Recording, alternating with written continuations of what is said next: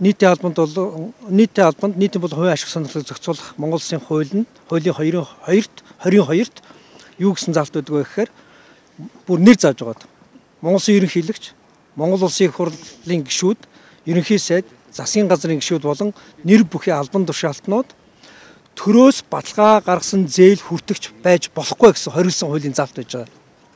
Төрөөс баталгаа гаргасан гэдэг энэ зээл нь төрийн нэр дээр байж байгаа бүх сангууд ордог. Хэрвээ энэ хуулийн энэ залтыг зөрчсөн байх юм бол 29 дугаар зүйлд маш тодорхой заасан байгаа.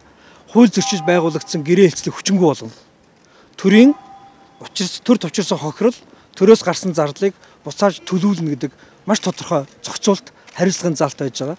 Тэгэхээр 2 жил хүлээлээ, 2 жил харлаа.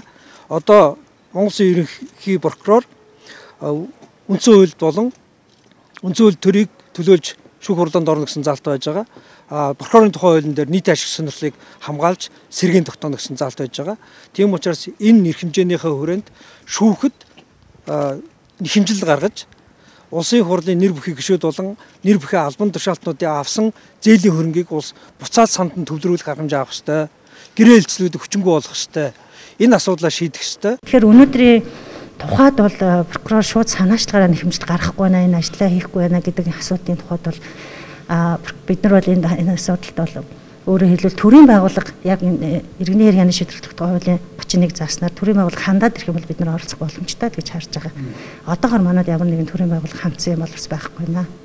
Тэгэхээр өөрөөр хэлбэл нөгөө жидүү сан одоо та бүхэнд хүсэл гаргах юм бол энийг бол шүүхэд хэмжил гаргах боломжтой гэж байна. Жидүү сантай хамт тийм боломжтой. Гэхдээ жидүү сантай өөрөөр хэлбэл бид нар хамтарч ажиллана гэсэн үг. Нэг бол тэдний хүсэлт хэмжлээ гаргаад бид нар хамтран прокурор олцож болно ямар ч гэсэн бид нар санаачлахаараа шууд орж байгаа асуудал маань бол жоохон хуулийн хувьд бол жоохон юм аа жоохон хуулийн хийдэлтэй байгаа. Энэ асуудлаараа бид нар хууль тогтоомжийн асуудлаараа холбогдох газрууд санал бол хөрвүүлээд байгаа л да.